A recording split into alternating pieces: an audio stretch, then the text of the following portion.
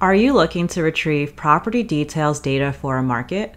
Tired of copying information manually to evaluate a single deal? Well, you're not alone. When I started real estate investing in 2019, I was deep into spreadsheets but realized it was slow, cumbersome, and error prone to analyze properties. This is where I discovered APIs to automatically retrieve property data. In this video, I will show you how to get all property details such as beds, baths, lot size, estimate, and more, all using Python for free. This will help you to retrieve data at scale for fast and accurate analysis. My name is Ariel Herrera, your fellow data scientist with the Analytics Ariel channel, where we bridge the gap between real estate and technology. I love bringing easy to use data driven solutions that you can apply to your business. Please like this video so that we can reach a wider audience and subscribe to this channel so you don't miss out on the latest content. All right, let's get started.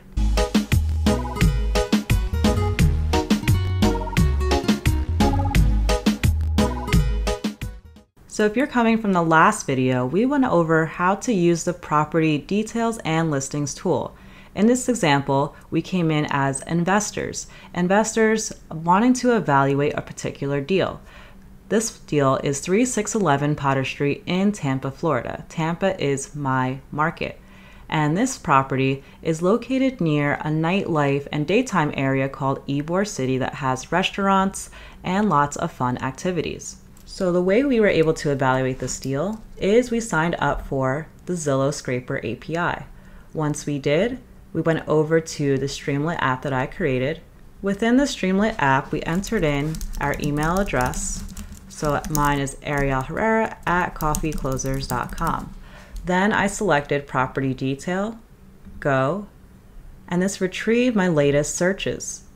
If I select the first one, you could now see the same exact property. We have information like price per square foot also calculated.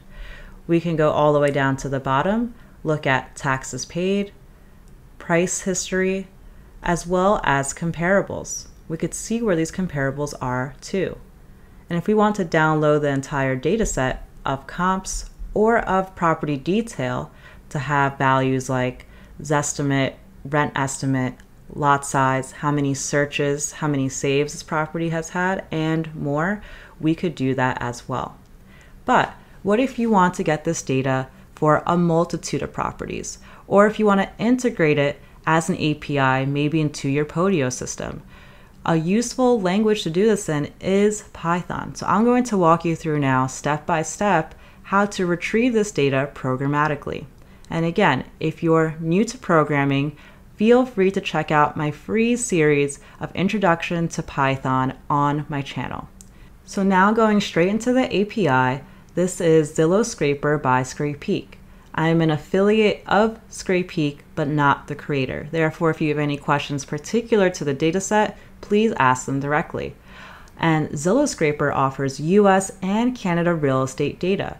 You could search millions of for sale and rental listings. In this case, we'll be able to get data both for on and off market properties, so those that are for sale and those that are not for sale. Now you can come down below to look at API documentation. But first, make sure you sign up with the link below. You will be able to use 100 free searches or 1,000 credits on a monthly basis. Once you sign up, you'll be able to come to your account. In your account, you will go to Plans, you will select the Starter plan, and you can go up in your plan as you'd like. Now for account settings, this is where you're going to find your API key. Your API key is towards the bottom. This is like your secret key or password that will allow you to query the data. Copy the key. Our next step is we want to start working with the API. So we're going to go into Google Colab. Google Colab is a free notebook environment where you can code programmatically without having Python installed on your machine. So right now I'm on Google Drive. You can create a free Google account. Then if I right click, I could see I could start up Google Docs, Sheets, Slides, Forms, and there's a More option. Now I already have Google Colaboratory installed.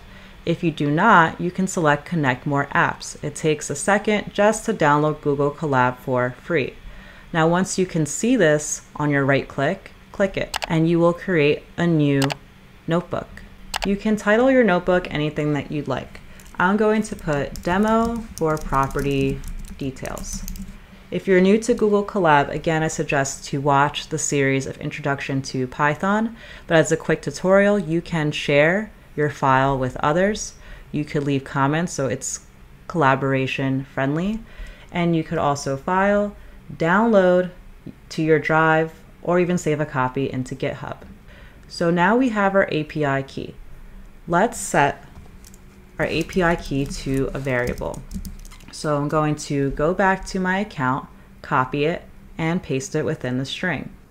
Once you have your API key copied, you could press the play button. This will now save your API key as a variable and we could reference it later. So if we go to the Zillow scraper to API documentation, we could see there's different endpoints. Think of endpoints almost as like a folder structure. We want to retrieve data between the different files. So particularly, we want to get data on the property itself, so property details. It is required that we have an API key and we have the ZPID. The ZPID is the unique identifier for a property that Zillow gives it. So let's copy this over into our notebook. So let's put this here, Control V, and we could see we need to input our API key and our ZPID we can set this to a URL and put this into strings. So to get our ZPID, which will be our second variable, we can go back to the property and we can copy the ZPID from up top in the URL. It's going to be towards the end with underscore ZPID and we can add that in as a variable. So I'm going to put ZPID equals and put it into a string. Now we want to enter these two variables into our URL. So we could do dot format. And here from the first element, so zero, I'm going to put in the API key variable. Then for the ZPID, one, I'm going to enter ZPID. Next, we want to make a request, a request to get the data. So we're going to add a code, import request. This will be the library that we use to get our data. So request.request let's say get, it's going to be a get request. As we look at the documentation, it says get. Then we're going to input our URL and run this. But before we run it, we want to set it to a variable. So let's put this as response equals. So that's going to run now to retrieve the data for that property of that ZPID using our API key. If we now look at response, we could see 200. That means it's a success. But if we want to get more detail, we could transform this into a JSON object. As an JSON object, we get all the information back. It's kind of overwhelming, so let's just look at the keys of what data we can extract. So we see that we have is success, data, and message. So if we just want to look at whether this query was successful or not, we can index it with is success and we'll see the answer is true. Now if we want to index by message, we could see scrape successfully. And lastly, if we want to look at the data, we can view here all of our data, which has the information for the property. Personally, I like to think of data as rows and columns. So let's now transform this into a table we're going to use pandas, which is another library within Python. So we run up top, import pandas as PD. Then we can add a new line, or we could just work with the one that we currently have since this is pretty long. So let's go back to the top. And here we're going to wrap this in PD, so for pandas, JSON underscore normalize, because we're normalizing our JSON file. Wrap this and let's call this df prop for df property. Let's run it and it's run successfully. Let's view the contents. So df prop and we could see we have one single row with 602 columns. That is super wide of a data set. We can't see all the columns though because they're blocked by this dot dot dot.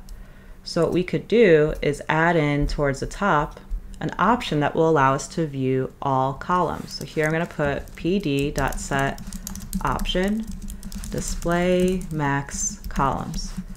And this is not something I've memorized. I've just gone into Google and I can search how to view all columns of pandas and then I'm able to copy the code over and paste it. A lot of programming is searching and copying other code and then bringing it all together. So there's not a lot of memorization to it. Now, if we rerun this exact data frame, we're going to see now, instead of the dot, dot, dot, all of the columns. We have information on property details like bedrooms, bathrooms, price, and so much more. If you could think of it and you've seen it on the actual listing site, that you can probably find it in one of these columns. But in particular, there are just certain columns that I am curious about initially. So what I could do is say print street address. And I could locate for this data frame the street address column and locate just the first element. So in that first row, there's only one row, so that's pretty simple. And we could see here, street address 3611 Potter Street. Now I've already gone through looking at these columns, so I'm just going to copy over, printing out some other statements and running it. So here we could see that we have multiple columns that help us to get more context on the property itself, like city, state, home status, which this one is for sale, bedrooms, bathrooms, year built, Zestimate, rent Zestimate, and description. Awesome. So what you've been able to do in this tutorial is sign up for an API key, read the documentation to understand how to make a GET request, open up a Google Colab notebook, start to write code to retrieve data. Now, if you had a multitude of ZPIDs or properties that you need to get data for, then you could use my property details bulk upload tool. It's currently in version 1 and may have version 2 already released by the time this video comes out. You can upload up to a thousand rows of property data and receive details within a short span of time. I'd love to hear your use cases of looking at property data. Are you building a tool that you'd like to share on the channel? Or perhaps you're looking at research and maybe you're a data scientist as well. I'd love to hear your use cases below, and if you haven't already, please like and subscribe. Thanks.